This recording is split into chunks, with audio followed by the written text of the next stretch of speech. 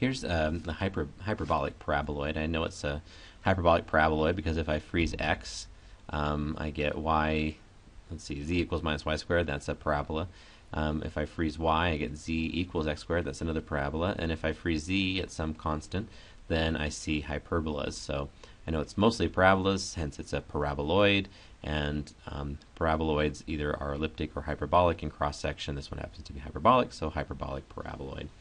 Now, we have, since we can solve for z in this case, z is equal to x squared minus y squared. So we do have a nice parameterization here. It's inside that cylinder, so that means that the x and y values are inside this circle of radius 3.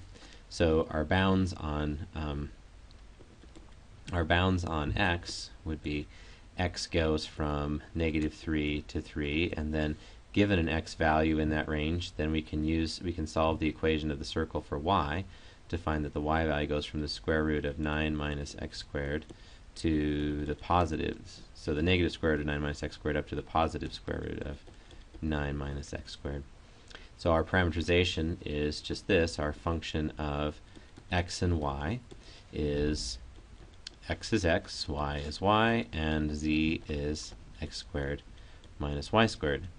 That's one possibility for parameterizing this um, with these bounds on our parameters x and y.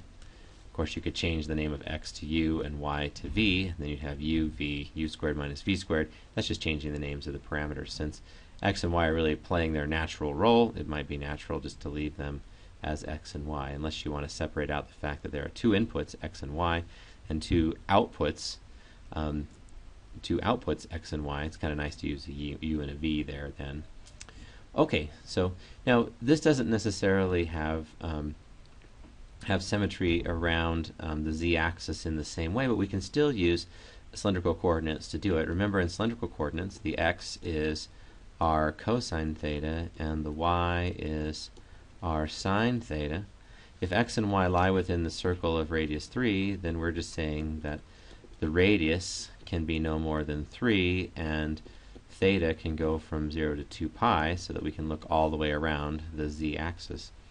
So because of that, we get an equation for um, for z. Let's see, since z is x squared minus y squared, if we wanted that in terms of r and theta, um, x squared is r squared cosine squared theta, and y squared is r squared sine squared theta. So I can factor out the common um, the common cosine squared minus theta squared, and I can get a different parameterization. Remember, parameterizations aren't unique, but I can get this different parameterization.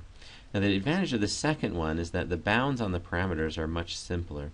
In this first one, we basically have a function that takes numbers in this circle and turns them into numbers on this hyperbolic um, this hyperbolic paraboloid.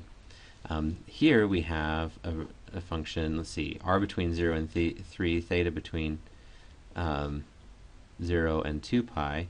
That's just a rectangle, and so the bounds here are nicer. We don't have the functions in the bounds like we had before um, for producing exactly the same hyperbolic paraboloid. Let's look at graphing these in Maple so we get get good at it. Let's see. Here's Maple. So remember that once we load the plotting package, then we can we can do plot 3D. Our equations. Let's see. Our first set of equations were x, y, um, and x squared minus y squared for z, and we had x going from negative 3 to 3, and y going from the negative square root of 9 minus x squared to the square root of 9 minus x squared. Okay, close, print, or semicolon.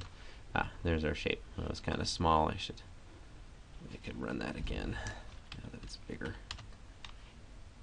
Oh, stretch it out for you here. Okay, and that looks a lot like a Pringle potato chip the way I stretched it there. You can see the parabola is opening up in one direction and the parabola is opening down in the other direction. Our second idea for parameterizing it was to use cylindrical. In cylindrical, x is r times the cosine of theta, and y is r times the sine of theta.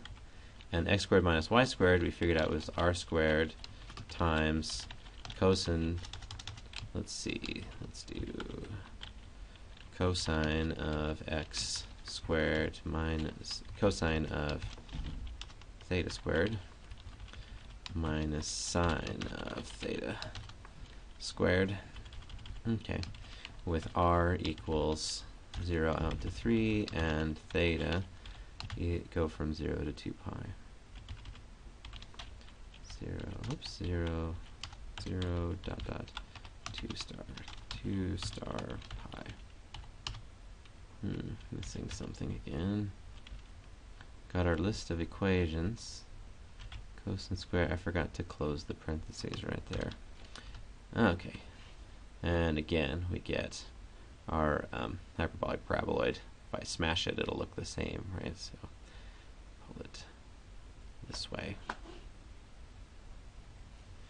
Let's look at just a slightly different problem with our hyperbolic paraboloid here. We've got the same hyperbolic paraboloid as before, so that's the same, but what's changed is um, the bounds on x and y. So now we're talking about the part of our um, hyperbolic paraboloid that is inside or, or hovering over a particular rectangle in the xy plane. So we just want that part of the paraboloid that that is that corresponds to x, val x and y values in this rectangle. Since the rectangular region, probably the best parameterization would be just the just the the one we get when we solve for z. So z is x squared minus y squared. So probably our best bet is to write this as r of x and y. This is my location r is equal to x, y, x squared minus y squared for x between negative 4 and 4 and y between negative 2 and 3. Now this is a probably a better option than trying to use cylindrical because of the way the, the bounds on our parameters are given. It's much natural this way. If we try to write, write this region, a rectangular region, in cylindrical, it's basically trying to find um, inequalities that describe a rectangle in polar the inequalities are going to be much nastier. So we'll just stick with that. Let's let's finish this off just by graphing this in this new in this new range. So go back up here where we had our hyperbolic paraboloid and put our bounds on um, negative 4 to 4 and negative 2 to 3. So go negative 4 to 4 and negative 2 to 3 and graph it. And this time you can see that um, we, we still have this hyperbolic paraboloid, but now if you look down on it, it's rectangular, right? That rectangular region, I put some axes on here, that rectangular region just corresponds to the rectangle in the xy plane that we wanted that surface to be floating over. So um, y is going from negative 2 to 3, and x is going from negative 4 to 4. I guess I should flip this around if I can. That'd be a little bit more normal. If I can get there.